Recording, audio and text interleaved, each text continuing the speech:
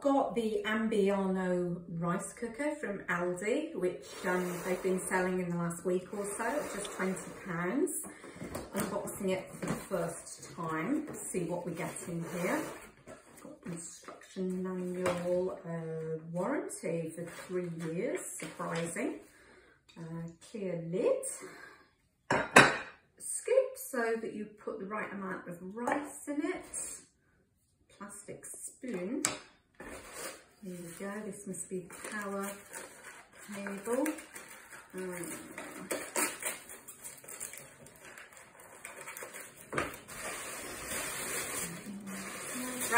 paper. I'm wondering how this will be different from the slow cooker because I've never used a rice cooker before.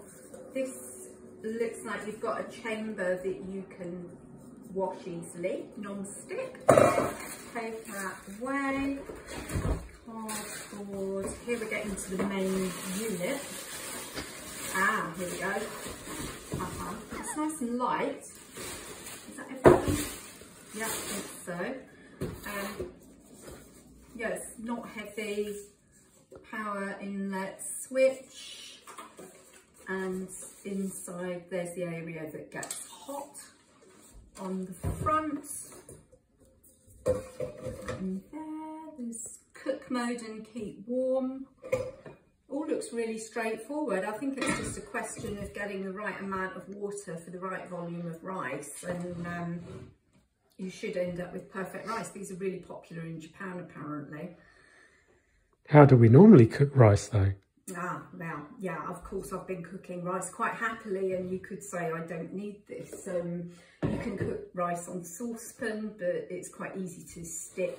Um, yeah, it gets stuck and um, the way that I do it more frequently recently has been with microwave steamer. This has been a bit more forgiving and um, you can drain the excess water off it. So I have had good results with a microwave steamer, but I have always wanted to try one of these. And I think that the beauty of this is that you can put it on the keep warm mode and the white rice won't go claggy because it's the, the, the, excess water is going to have gone away.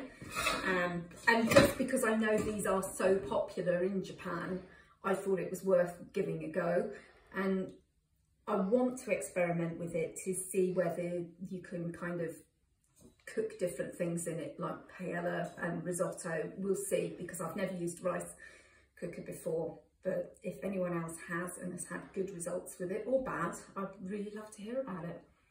I'm just going to add a couple of technical details that I didn't cover before. It's 400 watts, so quite low on the electricity use. It's got one litre capacity, so I'm estimating you should be able to easily cook enough rice for six people in there. And it costs £20 from Aldi, so seems to be a bargain so far, but I'll let you know how I get on with it.